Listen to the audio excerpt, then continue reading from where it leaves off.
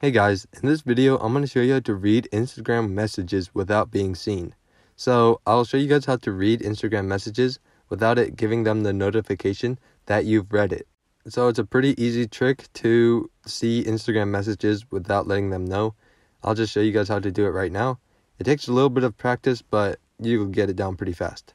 So first things first, go to your Instagram. As you can see here, I have a couple messages from your mom. So I want to check it without letting her know that I checked it.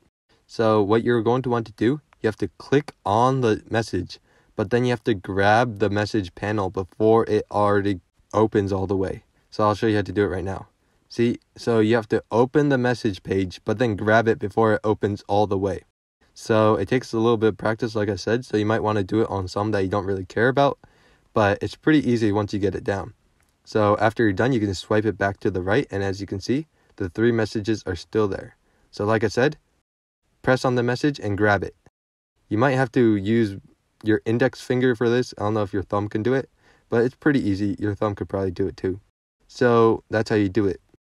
Like I said before, you want to practice on something else that doesn't matter as much, like on your friends' DMs that you don't care about because you're going to read them anyway. But once you practice it and get it down, it's really easy. So that's how you do it. I hope this video was helpful. If it was, I'd really appreciate a like and subscribe. Leave any questions you have in the comment section below. I'll do my best to answer them. And I do not believe this method works for screen recording, so don't try that. It'll give them a notification. And yeah, I will see you guys next time.